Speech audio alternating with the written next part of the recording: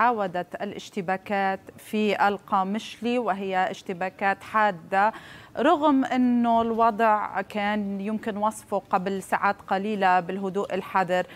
الاشتباكات آه، فقط توقفت لما يقارب الساعة ونصف ظهر اليوم لتعود.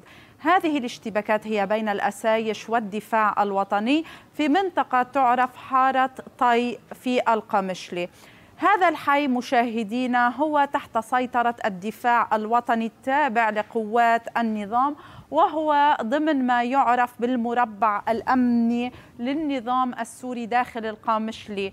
آه هذا المربع مشاهدينا هون سأعقب قليلا. هذا المربع هو عبارة عن منطقة آه تحت سيطرة النظام كأن جزيرة داخل القامشلي آه، لكن فيها شوارع من هذه الشوارع آه، هناك حول بداية آه، حواجز قوات النظام والدفاع الوطني وبعد هذه الحواجز تقع حواجز الأسايش لتدخل بعد إلى مناطق سيطرة قوات سوريا الديمقراطية التابعة أيضا للقوات للإدارة الذاتية.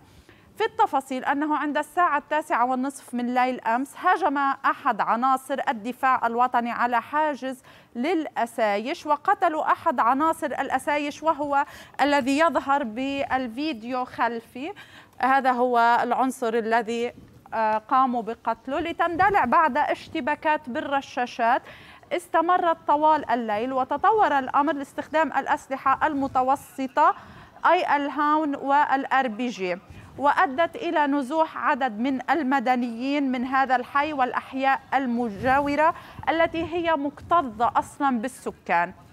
حتى الآن لا جرحى بين المدنيين لكن هناك ثلاث جرحى من الأسايش ولا معلومات آه، تمكنا من الحصول عليها. عما إذا كان هناك قتلى أو جرحى في صفوف الدفاع الوطني.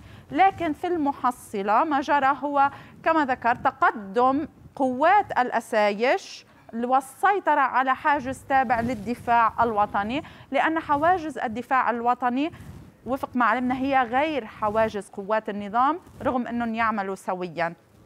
واللافت كان عدم تدخل قوات النظام في هذه الاشتباكات. أما بما يتعلق بالروس الروس وفق مصادرنا يحاولون التهدئة لكن حتى الآن ليس هناك من أي تطورات ملفتة.